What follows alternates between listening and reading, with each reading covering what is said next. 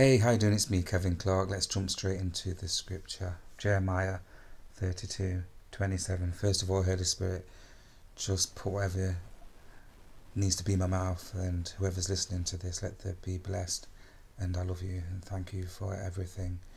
And Jeremiah 32, 27. Behold, I am the Lord, the God of all flesh. Is there anything too hard for me?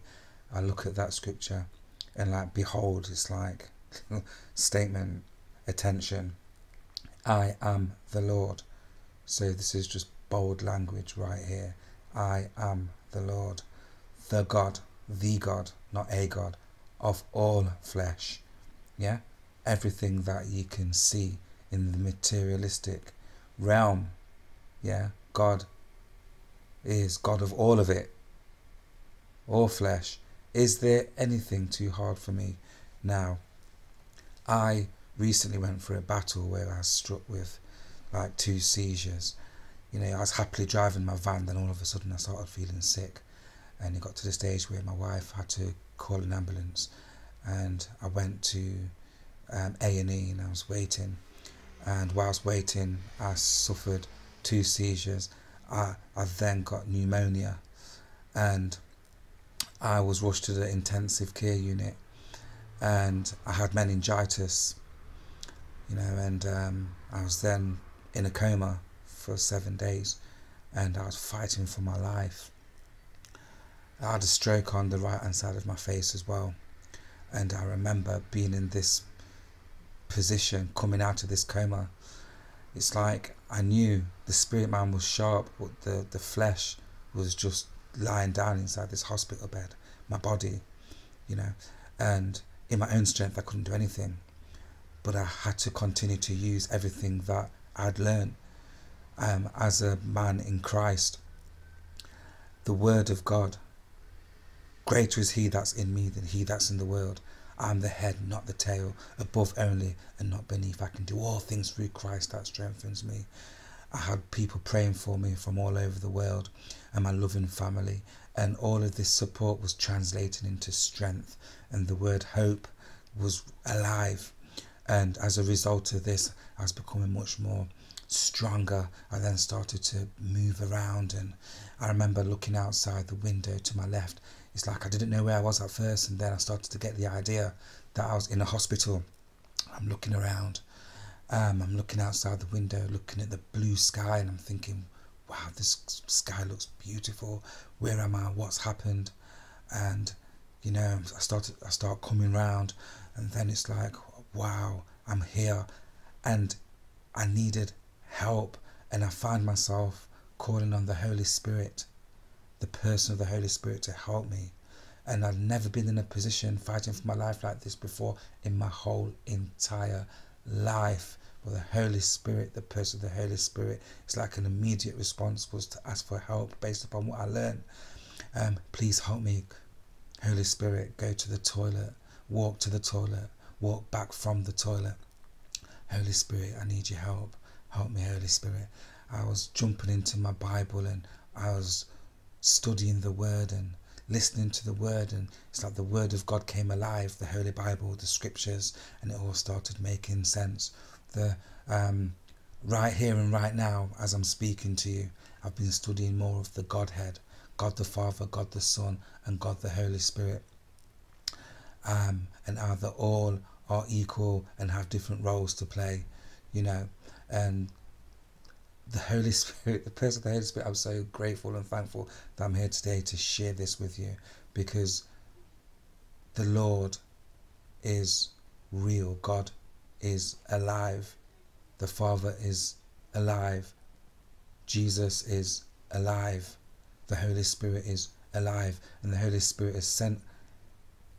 God has sent us the Holy Spirit. Jesus has given us the Holy Spirit to help us, is our helper, right, to do greater work. We have work on our hands, and I am just so thankful. And it's not by happenstance that you're listening to this. And if you don't have a relationship with the Lord, if you haven't given your life to Jesus. Maybe you've been in a position where it's like, yeah, I've heard about all of this Jesus stuff. Yes, he died for me and rose again so that we can have everlasting life. But maybe you've heard this, but you've not believed, or you know, you've been close to just asking him to come into your life, but you've not done it. But I sincerely encourage you because, like me in the van that day, you know, taking life, taking it at its pace, like I'm in control of all the time. The reality is, I am not in control of time. And what I do know is there's purpose on your life, there's purpose on my life, there's purpose on your family's life, and God has a plan for you.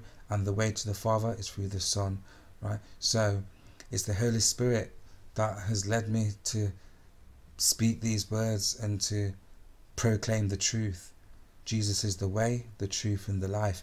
And it doesn't matter where you've been or what you've done, ask Him to come into your life. It's simple. Jesus died for you and rose again so that you can have everlasting life. And God gave us His only begotten Son, that whosoever believes in Him shall not perish but have everlasting life. So, just basically ask the Lord Jesus to come into your life. Give your life to Jesus. He's got plans for you, He's got a purpose for you. It doesn't matter where you've been or what you have done. So you can pray this prayer with me if you want. Okay? It's very simple. Let's do it. Lord Jesus. That's right, just repeat the words. Lord Jesus, I believe that you died for me and that you rose again three days after so that I can have everlasting life. I give my life to you. I give everything to you. Come into my life. I am ready to walk with you. I am ready and thank you. Thank you so much for laying down your life for me so that I can have everlasting life. Thank you. Amen. Now, if you've prayed that prayer, wonderful, heaven's rejoicing. You are born again. What's very important at this stage is for you to get more understanding because you've crossed over into another realm I'm so happy for you. But now it's time for you to be discipled and to get understanding. So you need to connect to a body of believers, a, a, church where Jesus Christ is Lord and the Holy Spirit. Yeah? The Holy Spirit is alive in that church so that you can get more understanding. Get yourself a Bible, a King James Version, Amplified Bible, start reading it. Don't be too concerned about um, how quick you are learning stuff and things. Just get tucked in. But most importantly, ask the Holy Spirit to help you and He will guide you into all truth. Right? Connect with people that are reading the Word and that believe and that trust, rely, and depend on the Lord. Okay? Jesus Christ is Lord. I'm really super excited about your future. If you want to connect with me, there's some details in the description box. Simply click on the link, it will take you to a site, kevinclark.net. I've got resources there so that you can grow, so that you can grow as a person in Christ. As a Christian, you are more than a conqueror, you're the head, not the tail, above only and not belief. Greater is He that's in you than He that. So that's it from me, Kevin Clarke, believing in you. And remember, Jesus is Lord. God bless.